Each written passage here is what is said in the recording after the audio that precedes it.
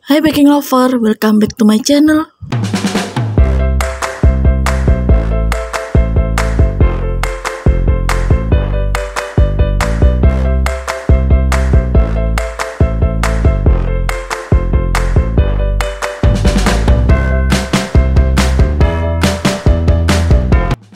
Nah, di video kali ini aku mau berbagi resep cara membuat puding cendol sutra bening yang super enak ya mams. Oke mams, sebelum aku lanjut ke videonya, kalian jangan lupa untuk subscribe, like, comment, and share. Aktifin juga lonceng notifikasinya ya. Cara membuat puding cendol sutra bening, bahan-bahan yang aku gunakan. Oke, untuk bahan yang pertama yang aku gunakan ada 250 gram cendol, Nah untuk cara membuat cendol nanti kalian bisa lihat dalam video-video aku yang sebelumnya. Untuk link videonya nanti akan aku taruh di atas ya mams.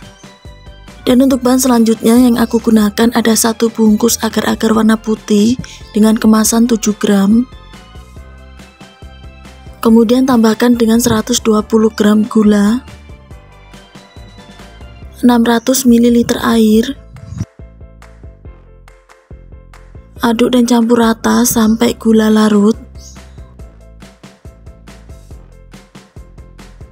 Setelah itu masak air puding sampai mendidih.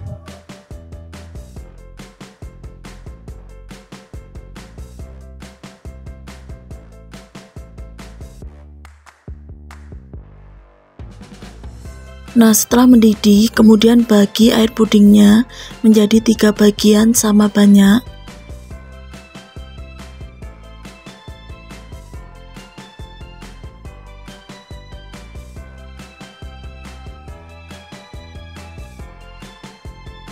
Masing-masing bagian puding di sini aku udah tambahkan pewarna makanan merah tua, kuning, dan biru.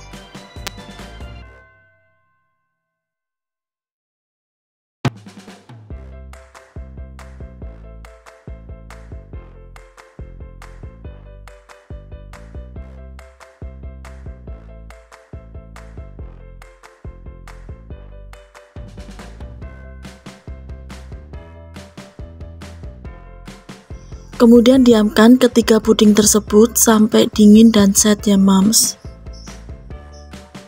Nah setelah dingin dan set dan untuk langkah selanjutnya Potong masing-masing puding menjadi bentuk dadu kecil-kecil Untuk besar kecilnya potongan bisa disesuaikan dengan selera masing-masing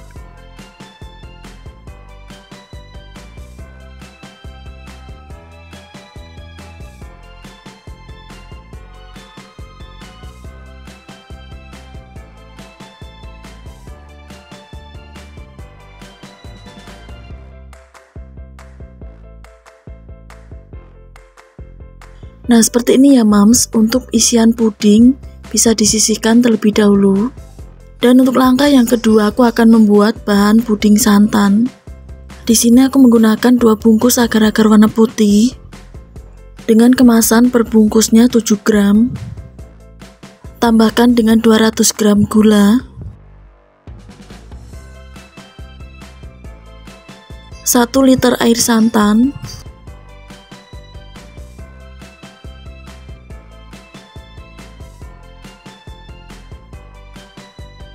Aduk dan campur rata sampai gula larut.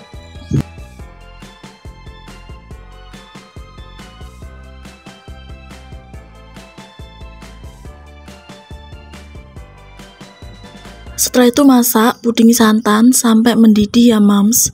Nah ini sambil diaduk-aduk terus supaya santannya tidak pecah.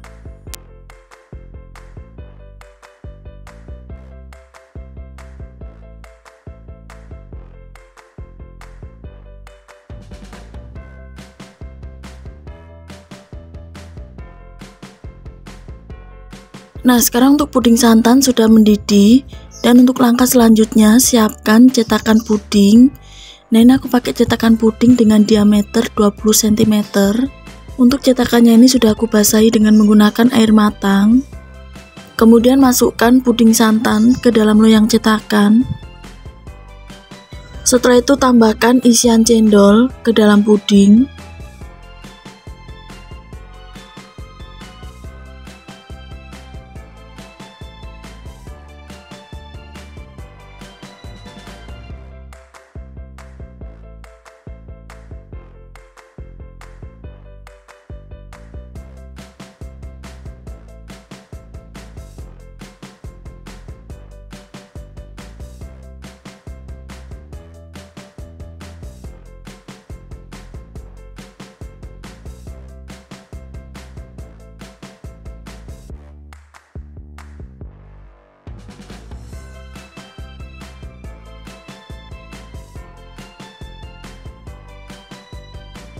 Tambahkan juga isian puding warna-warni.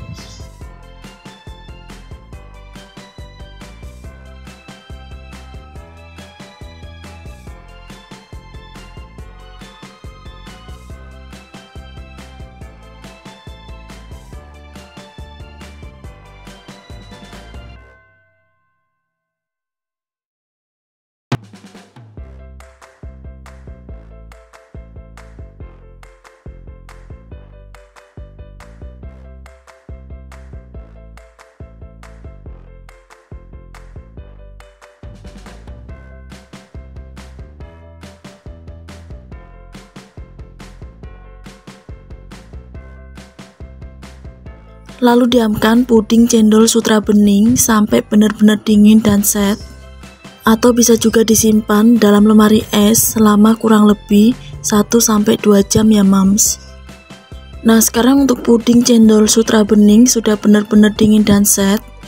Dan untuk langkah selanjutnya aku coba keluarkan dari dalam loyang cetakan. Kemudian aku coba potong ya mams puding cendol sutra bening.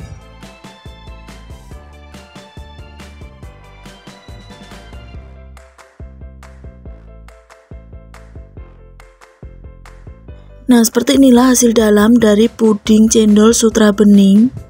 Yang pastinya pudingnya ini super enak banget dan super seger ya moms. Oke moms, sampai di sini dulu ya video kali ini. Thanks for watching and see you next video. Bye bye.